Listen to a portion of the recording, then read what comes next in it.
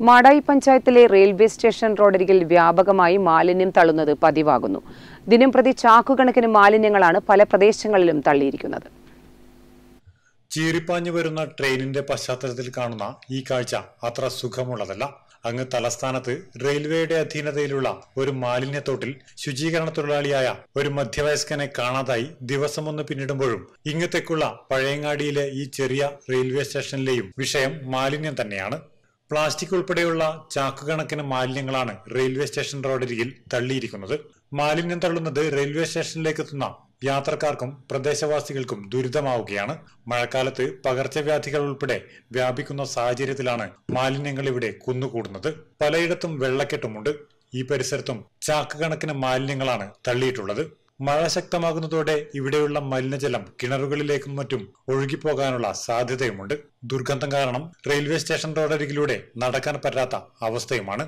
മാലിന്യം നീക്കം ചെയ്യാനോ മാലിന്യം തള്ളുന്നവർക്കെതിരെ നടപടിയെടുക്കാനോ അധികൃതർ ഇതുവരെ തയ്യാറായിട്ടില്ല. എത്രയും പെട്ടെന്ന് ഇക്കാര്യത്തിൽ ബന്ധപ്പെട്ടവർ ഇടപെടേണ്ടതുണ്ട്.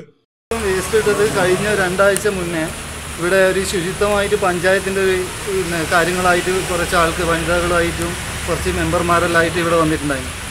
ഈ വന്ന് അവർ ശുചീകരിക്കാൻ നമ്മളോടെല്ലാം തയ്യാറെടുക്കണം നിങ്ങൾ നമ്മളെ കൂട്ടത്തിൽ കൂടണം എന്നെല്ലാം പറഞ്ഞ് നമ്മളായിക്കോട്ടെ നമ്മൾ വേണ്ടപ്പെട്ട കാര്യങ്ങളെല്ലാം ചെയ്യാമെന്ന് പറഞ്ഞിട്ട് നമ്മൾ ഇവിടെ നിന്ന് അവരെ കാത്തു നിന്ന് അവർ പത്ത് മുപ്പത് ആളുകളും ഉണ്ടായിരുന്നു വനിതകളായിട്ടും പിന്നെ കുറച്ച് പാർട്ടി പരമായിട്ട് കുറച്ച് ആൾക്കാരും ഉണ്ടായി ഈ വന്ന് നമ്മളിവിടെ ഏകദേശം ഇരുപത്തി ഒന്നാൾ നമ്മൾ ഓട്ടോ തൊഴിലാളികളിവിടെ നിന്നിട്ട് അവർ വന്ന വനിതകൾ കുറച്ച് പത്താൾ അങ്ങോട്ട് പോയി പത്താൾ ഇങ്ങോട്ടേക്കും പോയി അവരെങ്ങോട്ട് എന്താണെന്ന് നമ്മളോട് നമ്മളോട് പറഞ്ഞ് നമ്മളോട് സഹകരിക്കണം.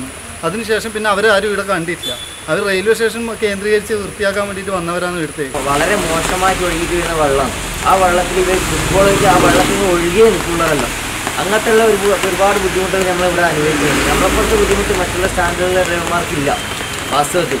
കാരണം വെച്ചാൽ നമ്മളിവിടെ മറ്റുള്ളവരെ മറ്റു നമ്മൾ പണിയെടുക്കാൻ വന്നതിന് മനുഷ്യന്മാർ മറ്റുള്ളവരെ വരെ പേടിച്ചിരിക്കുന്ന അവസ്ഥയാണ്. മാലിന്യ പ്രശ്നം ഗുരുതരമായ രീതിയിൽ സമൂഹ ജീവിതത്തെ ബാധിക്കുമ്പോൾ മാലിന്യം വലിച്ചെറിയുക എന്നത് വിനോദവും മനോഭാവവുമാക്കി മാറ്റുന്നവർ ഈ പ്രവണത ഒരു രോഗമായി കരുതി സ്വയം ചികിത്സ നടത്തിയേ തീരൂ.